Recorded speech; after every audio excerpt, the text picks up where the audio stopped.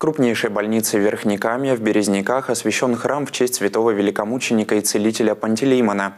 Чин освящения совершил архиепископ Соликамский Чусовской Засима. Появление часовни – это результат взаимодействия Соликамской епархии и руководства краевой больницы имени Вагнера. Событие привлекло внимание местных СМИ и, конечно, самих пациентов больницы. Раньше в помещениях располагались склады, и большее время они не использовались. Березняковцы нередко обращались к руководству медицинского учреждения с просьбой открыть часовню, где они могли бы с молитвой обратиться к Господу. Главный врач больницы Михаил Суханов такую возможность предоставил. Во многих больницах, других медицинских учреждениях люди открывают организации, к которым могут прийти прихожане и просто помолиться, сказать какие-то слова благодарности или на, наоборот что-то попросить у высших сил. Мне кажется, это нормально. И здесь мы приняли это решение совместно с епархией.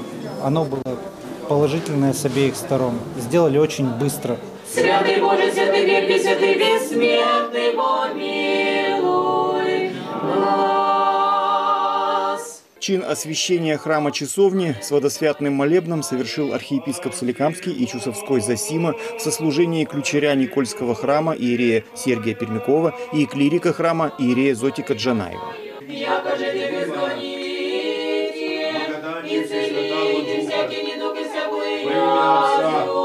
Те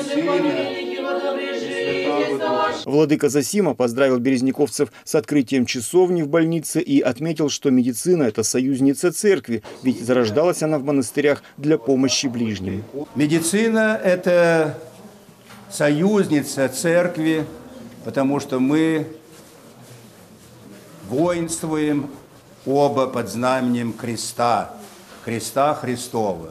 Медицина зарождалась в монастырях, чтобы помочь ближним, страждущим по заповеди Господа Иисуса Христа. Первые монахи, монахини занимались целебным искусством врачевства.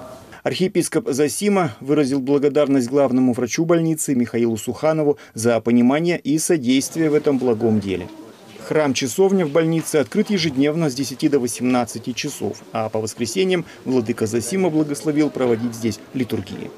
Евгений Смирнов для телеканала «Союз. Березники».